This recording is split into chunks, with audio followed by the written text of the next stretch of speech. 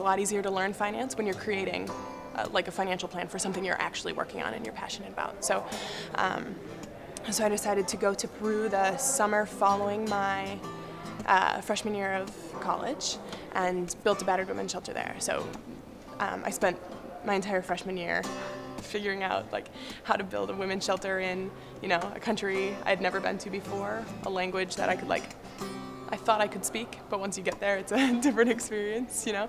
And like as an 18 year old, when you say you're gonna build a battered women's shelter, people are like, okay, yeah, you go do that. Or they're just blatantly like, no, you're gonna fail. After about two, two and a half months, we got the whole thing built. Um, can, the women's shelter can now house 12 women and their families, or their children.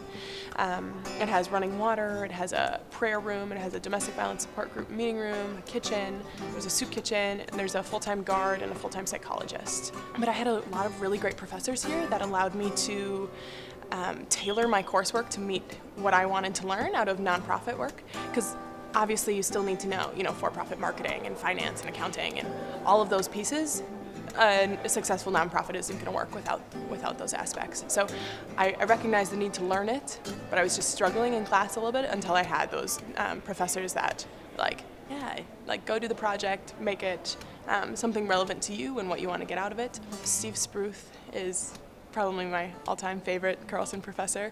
Um, he just always asked the right questions. So a lot of my time here at Carlson was spent developing new business ideas and like actually putting what I was learning in the classroom into practice and trying it out and seeing, you know, can I actually start a business with what I'm learning here in the classroom? You know, why wait 20 years to go do it? I'm just going to do it right now while I have the resources, while I have great people like the professors here, Steve Spruth and Frank Beal, um, that are going to challenge me and ask the right questions and help connect me to resources. And um, yeah, I think that was probably, for me, the best part of Carlson.